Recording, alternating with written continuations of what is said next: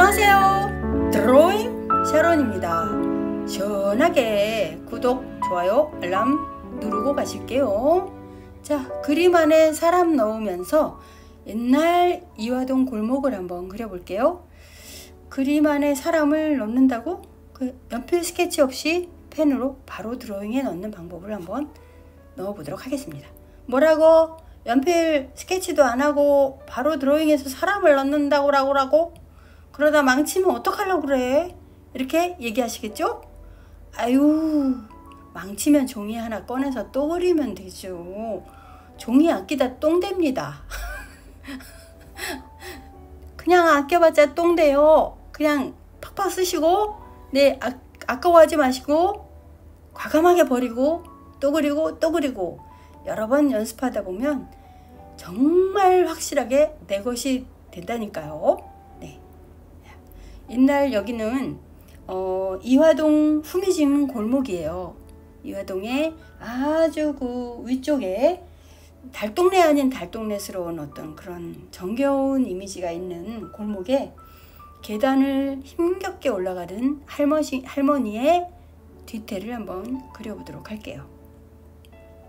그 옛날 이런 그 뭐라 그러죠? 집 앞에 조그만 텃밭도 해서 막 배추도 거기서 키우고 어? 동네에서 이, 이 동네는 또 그림에는 없지만 옛날 오래된 벽시계가 달려 있기도 하고요. 네, 하여튼 그 재미난 옛날 풍경인데 아, 이 이런 모습을 보면서 굉장히 그 뭐랄까요? 옛날 생각이 많이 납니다. 이게 1970년대에 서울의 모습 거기에 그 음, 멈춰 있는 듯한 70년대에 약간 그, 그 상태로 멈춰 있는 듯한 그런 동네 풍경인데요. 이게 이제 뭐 이 동네에 뭐 100일 동안 뭐 70명의 작가들이 모여가지고 어, 골목 그 벽화 같은 거 이런 것도 그려서 작품으로 만들기도 하고 그랬던 그 재미난 그런 내용들이 있는데 자 그래 한번 또 언제 한번 보러 가야 되겠어요. 자 저기 할머니 가파르게 계단을 올리는 올라가신 할머니인데 이런 사람을 그릴 때는 얼굴 생김새나 디테일을 자세히 그리는 것보다 무슨 행동을 하고 있는지 걷고 있는지 또 무엇을 들고 있는지 표정보다 제스처 동세를 위주로 그립니다. 제가 곧 조만간 사람을 그리는 방법에 대해서도 곧 영상을 만들어서 올리겠습니다만 이런 식으로 어, 크로키 비슷하게 이렇게 선을 연습해 보는 거예요. 어머 이러다 이 그림 이거 연필로 스케치도 안 하고 하다가 저거 다 홀랑 망치면 어떡해 그렇게 생각하실 텐데 그러면 또 그리면 되죠. 또 그리는 동안 두 번 연습하게 되고 세 번 연습하게 되면 아까보다도 훨씬 자신감이 붙으니까요. 그러니까 종이하고 펜 자꾸 아끼면 똥 된다니까요. 네. 자, 계단도 우리 계단 그리기 지난번 지지난번 영상에 한번 계단 그리기를 올렸었는데요. 자, 이렇게 계단을 그리고 사람을 그려도 좋지만 이렇게 그린 다음에 거기에 맞춰서 계단을 넣어도 괜찮죠. 이 할머니의 뒷모습을 그리다 보니까 아, 우리 할머니가 너무 생각나요. 저를 유난히도 참 예뻐해 주셨는데 겁나 말 안 들었는데 뭐가 예쁘다고 그렇게 토닥토닥 해주셨는지 네, 그 그리운 할머니가 생각이 납니다. 옛날에 친구들하고 골목에서 막 미친 듯이 막 이마에 땀 다 젖어가지고 그때는 어, 남자 여자 이런 구분도 없어요. 그냥 미친 듯이 같이 놀다가 밥 먹으라고 막 동네가 터져나가게 이름을 부르시거든요. 누구야? 밥 먹으래. 경상도 분이셨는데 밥 먹지 얼렁 막 이러시거든요. 그러면 들어가기 싫으니까 그때 밥 먹으려고 들어가면 막 허벌지게 놀다가 흐름이 딱 깨지잖아요. 애들이 제가 하나 없어지면 또 짝이 안 맞으니까 놀이하는데도 좀 리듬이 깨지고 그러니까 안 들어가려고 막 어딘가에 막 골목에 숨어요. 땀에 흠뻑 젖어가지고 할머니 들어가실 때까지 숨어 있다 나와서 또 놀고 막 이랬던 철없던 그런 생각도 막 납니다. 앵칸 말 안 들었어야죠. 그냥 근데 대단한 게 우리 할머니도 제가 어디 숨었는지 야 진짜 기술이 나날이 좋아지셔가지고 바로 찾아내십니다 그냥.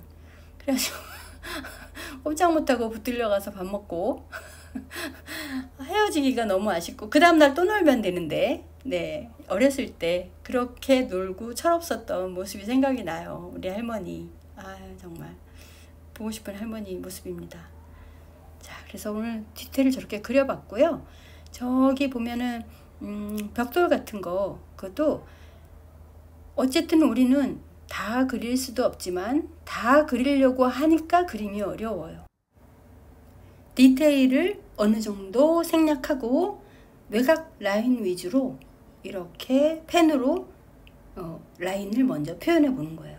그래서 생략할 부분은 그 배추 잎사귀 몇개 빠진다고 어디서 조사 안 나오니까는요. 잎사귀 몇 개 빼도 됩니다. 네. 그래서 뺄 거 대충 빼고 내 마음에 드는 잎사귀 몇 개 골라서 이렇게 이렇게 집어넣고 네. 그리고 이제 저기 보이는 나무 이렇게 나무도 기둥 완전 똑같이 그리려고 선 손끝이 막 경직돼서 그렇게 그리시기보다는 또 보여지는 대로 조금 편안하게 어, 그리는 내가 편안해야 그림도 편안하게 완성이 되겠습니다. 네. 자, 아까 똥 댄다는 얘기 하고 나니까 돈과 화장실에 대한 사자성어라고 혹시 아시나요? 잠깐 해볼까요? 아, 지금 깨끗한 걸 얘기해야 되는데 오늘 이상하게 똥, 화장실 이런 얘기 많이 하게 되네요. 그 푸세식 화장실에 놀러 가가지고 돈이 빠졌을 때 사람들이 어떻게 하는지 사자성어로 한번 얘기해 볼게요. 먼저 푸세식 변소 화장실에 10원짜리 10원짜리가 빠졌어요. 그러면 어떻게 할까요? 본 척도 안 하겠죠. 그래서 사자성어로 수수방관. 그 다음에 500원짜리가 빠졌어요.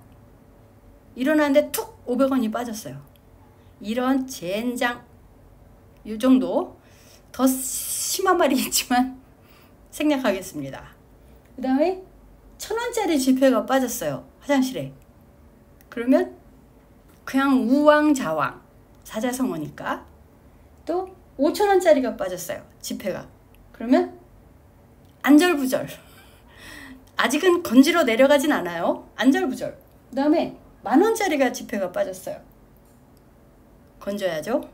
이판사판 그 다음에 5만원짜리 돈이 빠졌어요. 지폐가. 네 글자로 일단 잠수